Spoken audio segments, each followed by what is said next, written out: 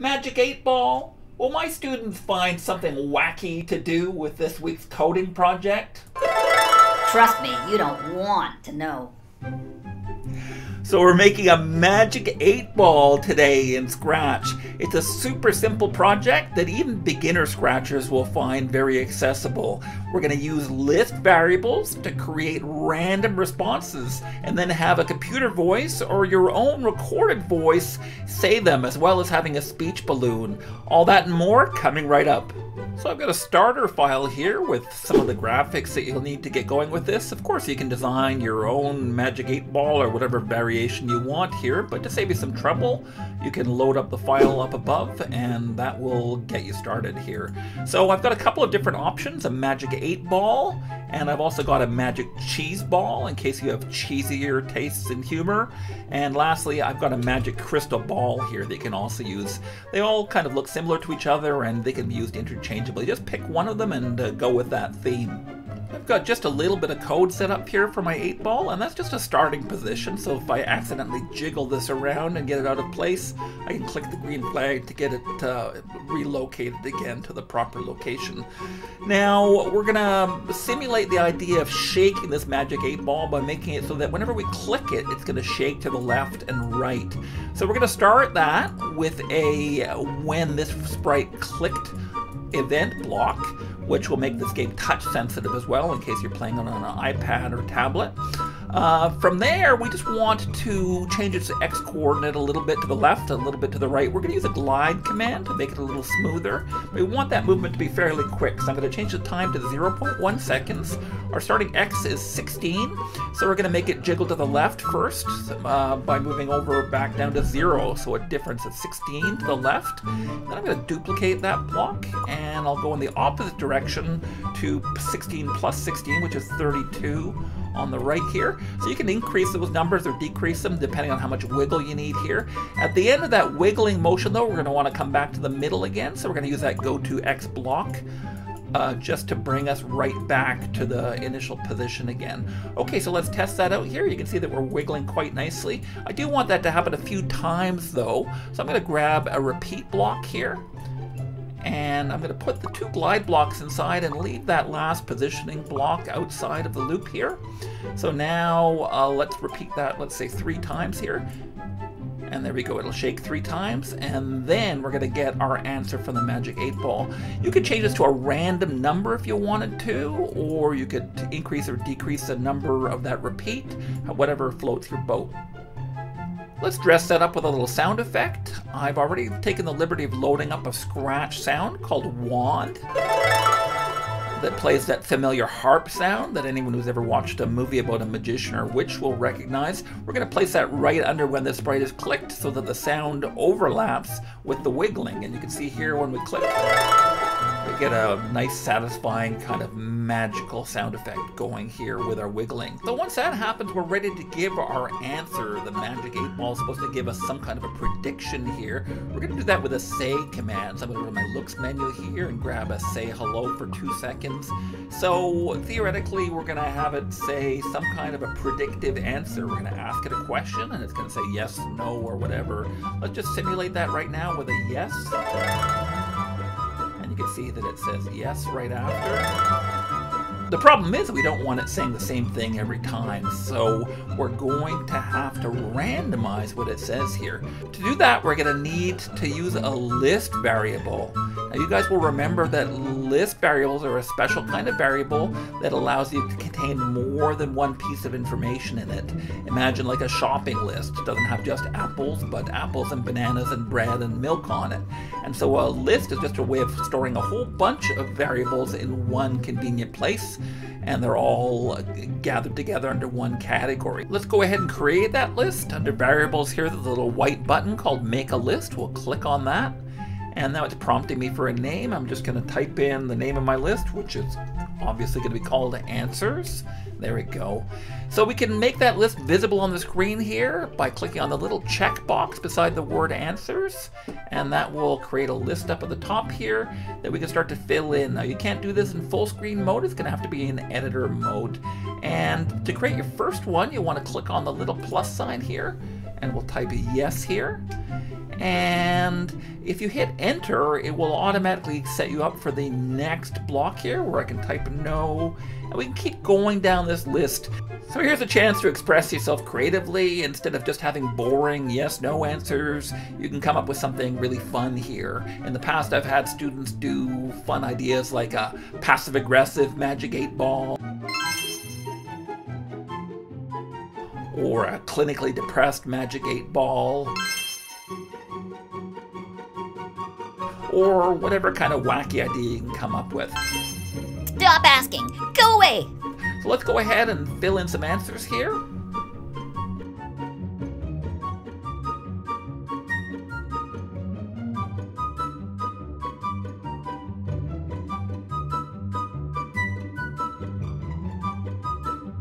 Okay, so I've got eight answers on my list here right now, and that'll be enough. You can have as many or as few as you want here. 8 seems like a fairly good number. So with that done, we can hide our list now. I'm going to click back on that blue check mark and make that disappear from my screen so that we don't have any spoilers for potential game players. All right, so the next mission here is going to be to get this say block here saying a random item off of that list. So it's going to take a couple of blocks to get that done. We're going to be building up a kind of a complex command inside of this say block here that's going to select something random from the list. So we're going to start off with this block here that says item one of answers. So answers again is the name of our list and you can test out what this block is going to spit out by clicking on it. So if I select item one of answers, you can see that it's telling me yes. And if I select item two of answers, it's going to give me the second item on the list, etc. Let's go with item five on my list, which is you would ask something like that, etc., etc. So it seems like this is getting us closer, whatever I put in here. So I'm going to drop this in where it says yes now. And now it will play back one of these answers. Let's leave it on number five here right now and simulate that. And so there's my answer. You would ask something like that. So now we're a little bit closer. We are reading off that list, but now we want this to be random. So I, instead of a number here, I'm going to select a random number. Let's go to our operators and grab a pick random 1 to 10. Now, we want to pick from the length of the list, so I could put pick random from 1 to 8 here, but then if I add a ninth item to my list, I'm going to have to update that. And the easier way to handle this is to tell it to pick a random number between 1 and the number of total items on the list here. There is a block that'll help us out with that. If we go down to our list variables again, there's an item here called length of answers. And if we plunk that into the second number spot here, that will actually pick from the number of answers that's actually available to us. And so now when I click my magic 8 ball, you'll see that every time I do it, I get a different answer from my list here again. Beautiful. Trust me, you don't want to know. I'm going to take the fifth on that. There we go. So this is basically functioning now. We have a perfectly functioning Magic 8 Ball. The only remaining thing to do here is see if we can make it even more fun and funky. So there's a couple of different things you could do with this. I'm going to start by going and making my Magic 8 Ball talk using a computer generated voice as well as having a voice balloon here. So to do that we're going to have to load up the special Scratch add-on down here at the bottom left. We're going to go to our uh, optional plugins for Scratch and we're going to grab the text-to-speech option here and that's going to create a couple of new blocks for us here. I'm going to grab uh, the top block here that says speak hello and you can see hello that it makes the computer say whatever has been typed into this box here. You can change the tone of the voice using this set voice command. We can make it super high pitched, for example. Hello. Or we can make it really low, uh, like a giant. Hello. There we go. I'm just going to stick with the default alto voice though, because that will work fine for these purposes. Hello. So the goal here is going to be to get our Magic 8 Ball speaking the same thing that it's saying here with the text bubble. There's going to be a couple of hitches we hit along the way here. First of all is one of timing. So I'm just going to paste a longer answer into here. We're going to have it say, trust me, you don't want to know, just so we can simulate it saying something that takes a little longer than the half second it takes to say hello. Okay, so let's try placing this in front of the say command and, and have a look at what happens. Trust me, you don't want to know. And so you can see here, well, the, first of all, the things aren't synchronized with each other. We'll deal with that later. But you can see Trust me, you don't want to know. That the computer's waiting for that entire speech to text routine to be done before it goes ahead and plays the voice bubble here. We want those two things happening simultaneously, and it turns out doing it in the opposite order doesn't help at all because the say command also waits for the timer to run out Trust me, you don't want to know. before it says its text command here. So how do we get both these things happening simultaneously?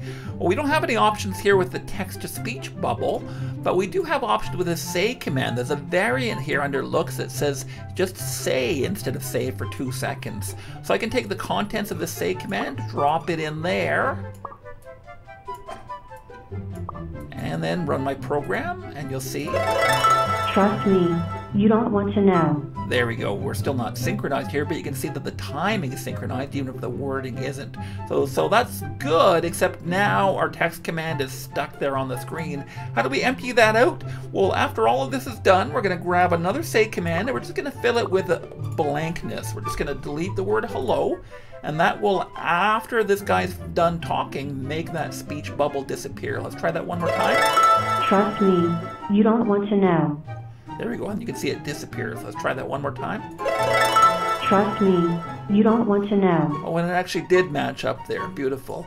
Okay, so our timing problems are solved. Now we have to synchronize what our character is saying across these two different ways of talking. Now, that's a little bit more complicated than you would think. My first instinct when I was coding this the first time was to duplicate this set of blocks here and just have it say the same thing. You don't want to know. The problem, though, is No. it's not synchronizing. We're not getting the same answer both times. Can you guys figure out why? If you're on the ball here, you'll realize that each time it's saying or speaking something, it's picking a different random number here. So we're going to have to get our random number selected first and then get both these guys to say the same item on the list. So we're going to need a little bit of a different approach here. So we're going to have to pick our random number before we actually end up saying the thing that we're going to say here and then use that same random number twice. To do that, we're going to have to create an ordinary variable, a non-list variable here. So we'll click on the make a variable button and we'll call it selected answer. There we go. We don't need to change any of these other options around. So we're going to set that variable right here. So we're going to set selected answer. We're going to make it a random number. So let's go back to our pick random. We'll drop that into the spot there where the number goes. And it's going to be from 1 through the length of answers, the same that we've done up here. So there we go. So that's going to set that variable selected answer to a random number. It's going to spit out a number between 1 and the length of the list here. And that number we're going to want to feed into this item command. A certain number, an, a certain answer number we're going to have it say here. So let's go ahead and put item number of answers here. And in that spot where the number is, we're going to drop that variable. So I'm going to find the orange bubble here that says selected answers and drop it where right now to the number 5. So now it's going to say that item. We can do the same thing in our speech command here. So let's duplicate that and drop it in there. No. And you can see now that every time we click, Yes. we're getting perfectly I don't know. synchronized text. Ask again. Ask again. Lovely. So that's working quite nicely now. I did want to suggest one other alternative, which is instead of having the computer do the voice, we can try to record our own voice and do some fun stuff with that. So we're going to need to have a look at our answer list here. I'm going to call that up again by clicking on the little checker box here. And I'm going to read these out to the computer using a funny voice. Um, so let's go over to our sound commands here and we'll grab the record button, which will call up our recording interface. And from there, we can record our first sound. Yes, There we go. We can preview our sound by hitting play. Yes. Now you can see there's a bunch of emptiness at the beginning and the end, and we want that sound to happen exactly when we tell it to and not have some blank at the beginning. So I'm going to grab these parentheses and squeeze them a little bit so that all the unnecessary sounds are gone from that. Let's preview that. Yes. There we go, perfect. Let's click on save, and we're gonna number these answers here. So instead of calling this recording one, I'm just gonna give it the number one here. Beautiful. All right, I'm gonna do that for the other eight commands, and then we can start coding.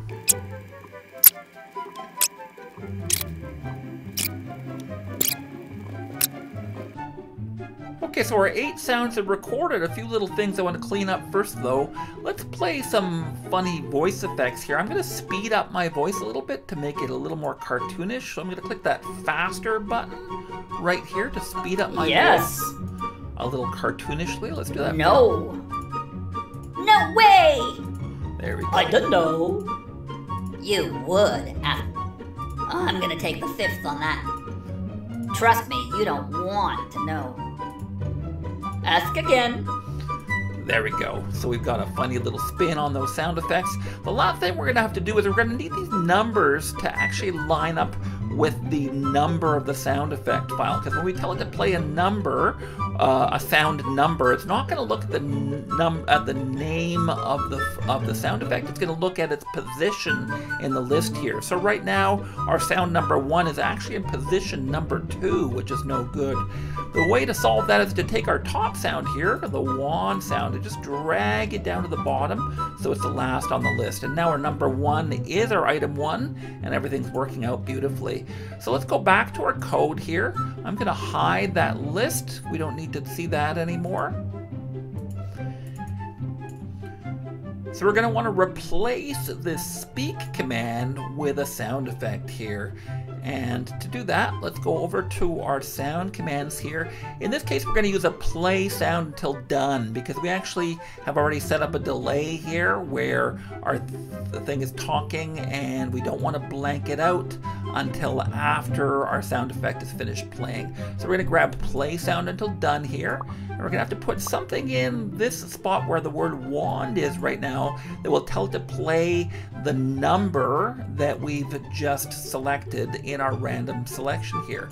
So we don't want it to, in this case, uh, for the say command, this series of commands here will actually spit out the word ask again. We don't want that, we just want the number of the selected answer, which in this case is 8.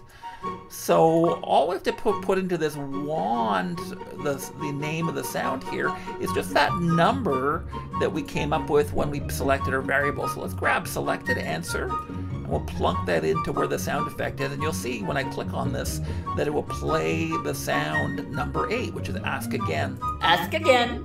There we go, perfect. All right, then we'll blank that out. We can trash this stuff now. And let's give our Magic 8 Ball one final spin here.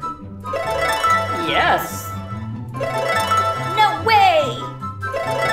No. You would ask something like that. All right, so we got something really fun here. So there you have it, a really fun little project that's super easy to code and has all kinds of potential for hijinks uh, in both the answers and the way that you dress this up with graphics.